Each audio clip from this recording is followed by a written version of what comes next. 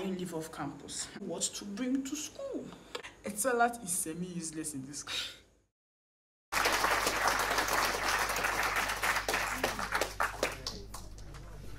Hi guys, welcome back to my channel. It's me, it's I, my name is Akaruese Bawo and I'm back with another video.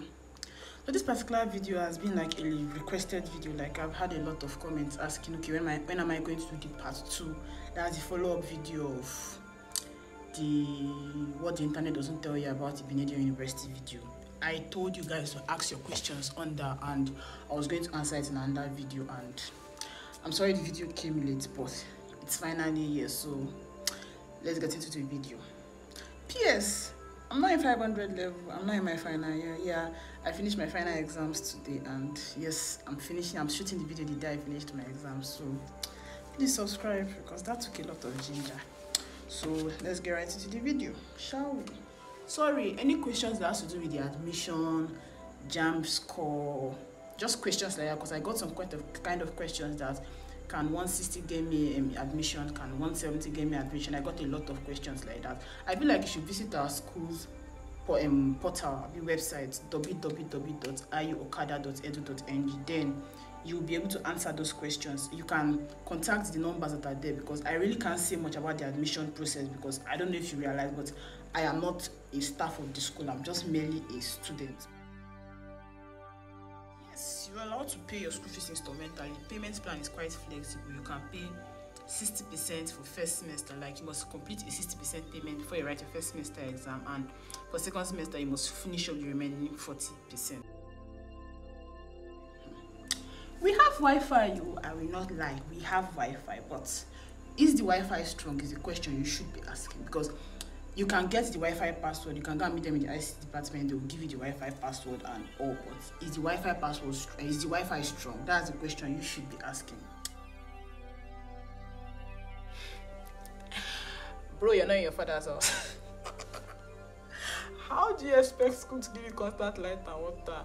For water, they have times in which they bring water. You know that okay, in the morning you're short of water, and then in the night you're short of water, but within the afternoon if you want to use water you have to fetch water against the afternoon. That's you have to fetch water either in the morning or in the night. So one of the essentials you need to bring to this school is a drum bucket and basically things for storing water. And then for constant light hmm, my dear so we don't have constant light. Not because we do not have constant light in the school but because they put off lights in the hostel. So between 9 a.m and 4 p.m on regular school days they switch off the light in the hostel because it's expected that students are supposed to be in school by then. And it's a good thing because sometimes even when you don't want to go to school when you realize that ah they were off light. You will dress up and go to school. It's not for anything to go and receive fun in school but it sometimes can be very annoying especially when you finish your classes early and you're back to the hostel and there's no light. But it's for a good cause so i get that. This question whether you want to live off campus you don't want to live off campus you will still pay accommodation fee because the accommodation fee cannot be subtracted from the school fees. Everything is 895,000 whether you live off campus you live on campus you will still pay the 895,000 the question you should be asking is can you live off campus? Like is it livable? Because hmm, we are in a village when i resound this thing in your ears that we're in a village maybe you think i'm actually exaggerating but we're in the kind of village that you still get to see mud houses. okay, I'm exaggerating it a little, but we're in that kind of village. So living off campus here is not a I don't think it's that much of a good option. Like, is, is it does it sound right in your ears? But the hostel facilities in the school is actually very okay, and I feel like if you come, living off campus will not really be something you will consider. But in any case, if you want to stay off campus or not, you are still going to pay the required hostel accommodation fee. Yeah, we have sporting facilities. We have basketball courts, we have volleyball courts, we have lawn tennis courts. But the sporting facilities are they are not the the I'm trying to be subtle here, but basically you get my point. We did not throughout my stay in this school, I came to this school in 2018. Throughout my stay in this school, they haven't gone for PU, for PUGA, that's Private University Games Association. I don't know where they've organized and we've not gone or they've not been organizing, but either way, we've not gone for PUGA then they just concluded nuga. My school did not participate in nuga. And sometimes it gets me wondering like why are we not participating in these sporting activities? But who am i to say anything okay yes iu is starting a Pharm D program from this year and they said school fees is one million five hundred and sixty thousand seven hundred naira. So that's like 1.5 million and something. So someone asked if the, the school fees is just for one year or is for the whole six years be for the duration of the full Pharm D. No how can one million five hundred and sixty thousand be for the duration of the full Pharm D when normal farm normal pharmacy that's the farm b or so ninety-five thousand for just one year so it's it's basically for one year so IU offers has like a JUPE program for direct entry into 200 level. So yes, we have more about those. That's um, the JUPE pro program. You can check the website for. Yes, there's actually a gym. The gym is owned by a private individual, so it's not like a school gym, but it's within the school premises, and yes, it's accessible to people. Age limit. I don't know, none that I know of. I don't know of any age limit at all, but I can't really say about age limits because I do not know about that.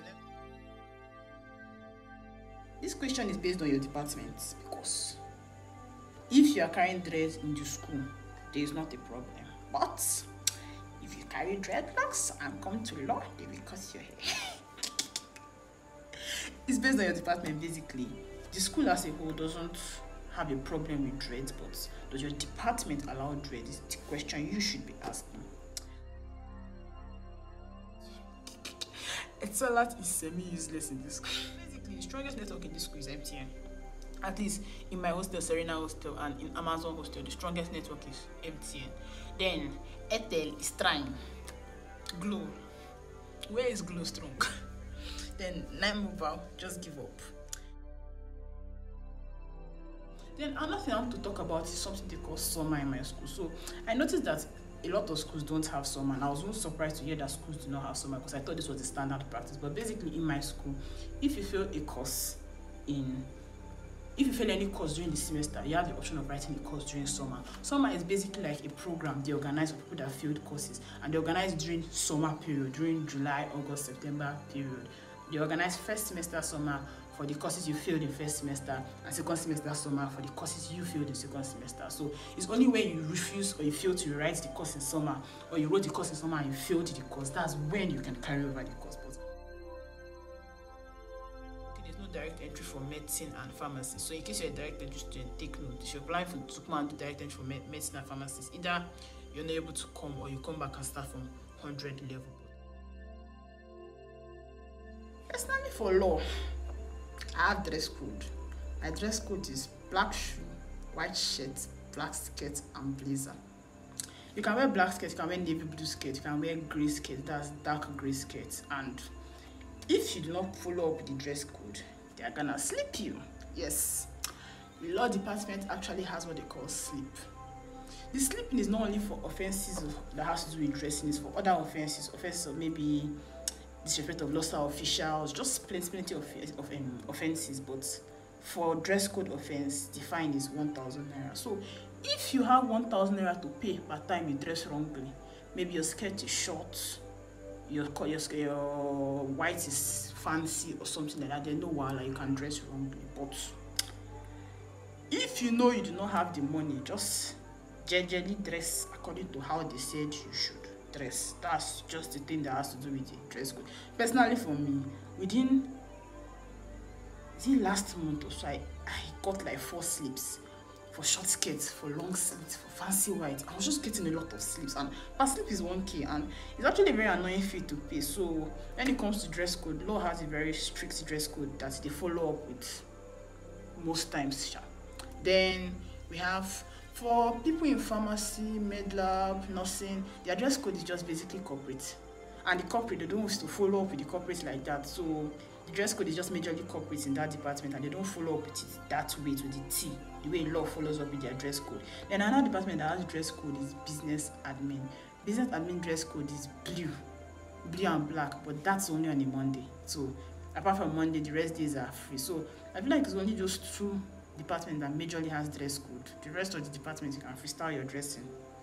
I think Interior too has a dress code, but their dress code is not every day either. Their dress code is, I think, is it black and white? I'm not sure of the international relation too, but their dress code, so I don't think is every day. So the only department that actually has like a strict, strict dress code that you follow up with every day is law. And I feel like law has a dress code in all departments, so IU is not an exception. And no, you cannot wear trousers in law. I don't know why.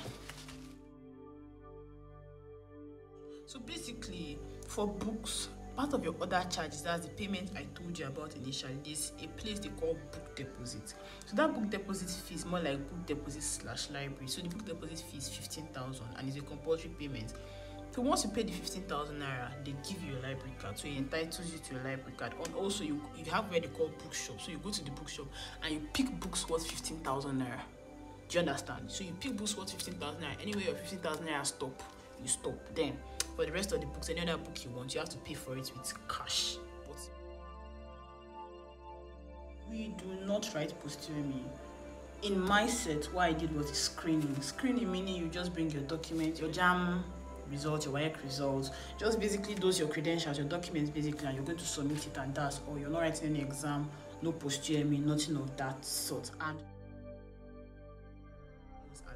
all these questions of what is allowed and what's not allowed it depends on your department. For law nose ring some lecturers have a problem with it some lecturers don't have a problem. And in general in the dress code it's not allowed but it's it depends on the lecturer at this point. But for the full school as a whole you can wear nose ring and comfortably pass off. Nobody's going to be asking you why you're wearing nose ring? Why you're wearing leg chain? Why you're wearing why your nails? Nails are nails not a problem at all can either cook or you can buy food. Personally for me i tilt towards buying food because it's not every time i have the opportunity and have the time and have the energy to cook. But if you can cook why not? We have like market days. We have like a standard market. That's okada market. You go to the market. The market is every i think for four days. So you go to the market you purchase the things you want to buy and you cook with it. Buying food the least you can use you can use 500 to get like a plate of rice and stew and beef. 500 should be enough. It's only when you're a luxurious eater like maybe you eat more or you eat more protein or stuff something like that. That's when you know that okay you have to aim higher. But with 500 naira you should be able to get like an average meal that will serve you well. At least i think. Hostel life is quite comfortable like the only thing that has to do with you the only flaw i feel about the hostel life is okay every morning you have to go and get bus and stuff. But the hostel life is quite comfortable at least you get water you get light though not 24 hours but you have your room. The rooms we have in the school are mostly four man rooms and some three man room and then if you're in final year you get to stay alone or you stay in a two man room depending on the size of your room. But hostel life is actually quite okay when it comes to religion, it's a very liberal school. I've said this severally. For churches, we have over like eight to nine different churches in this school. We have Winners, we have Catholic, we have Mountain of Fire, we have Christ Embassy, we have Redeem. For Muslims, we have a mosque in the school. So when it comes to religion, you're not forced to go to church, you're not forced to go to mosque. Either ways, it's you choose the one you want. But when it comes to churches, there are various churches in the school and you pick the church that you resonate with so. So first semester school is always kind of serious academically serious and everything. First semester doesn't really have much activities. It's now second semester that has the bulk of activities. Second semester has our founders week. Second semester has students week second semester has uh, second semester basically has a lot of activities. Students week you your dinner everything. I feel like i did a video on like our students week the dinner rally everything. So you can check that out but have like sporting activities they have in, the, in their hall sports that's sporting activities between different hostels and everything. But those are all the second semester. First semester is just academically serious. What do you bring to school essentials see hmm. open your eye and listen to me because i remember during my turn i checked and checked and checked for videos or guidelines to know when i'm going to be coming to the school and i didn't get any guidelines. So i just freestyled it and i ended up regretting it. So there are a lot of things that are essentials to bring to this. First is drum butter it's it's it's necessary it's needed. Butter bucket those are like necessities in 100 there because you need to fetch water you need to store water because you, you won't get to see water running 24 hours. So you need to store water in case water is not running and you do not want to be caught up in a situation of not having water to bathe that situation choke another thing you should bring is gas gas for cooking. When I was coming to this school, I didn't know they allowed gas, so I didn't come gas. And the thing you need to know is that if you're privileged enough to buy these things from house, please do so because something they're selling 2,000 naira outside, they're going to be selling like 3, 5 or 3,000 naira in school because it's expected that you put 100 level people they don't know how much the price and they're going to be inflating the prices and especially because of the fact that you're buying these things from Benin. So the price in this school is actually double of what you are normally going to pay. So if you can buy these things from house please be my guest and buy another thing you need to buy is fan because okada is hot see i'm not exaggerating but when i saw one meme that say okada is close to the sun it actually hits hard because this place is fucking as hot. So if you can buy a standing fan it's going to be very very convenient and pleasant for for 100 level i know a lot of people that didn't come with standing fan and they have to buy standing fan in 100 level. But if you can't buy a standing fan you can still cope. It's not like it's an essential essential but it's something that you just need. And i feel like those are the major essentials. Drum your gas your standing fan. And the other things you're going to be bringing are the things you would normally bring in university. No you're not bringing foam. No you're not bringing pillow. School provides foam and pillow. You just bring your bed sheets basically the things you take to university on a normal your bed sheets your books and these things you can still buy them in school. It's not like you can't buy them you can still buy them in school. It's just more convenient to buy them from the house.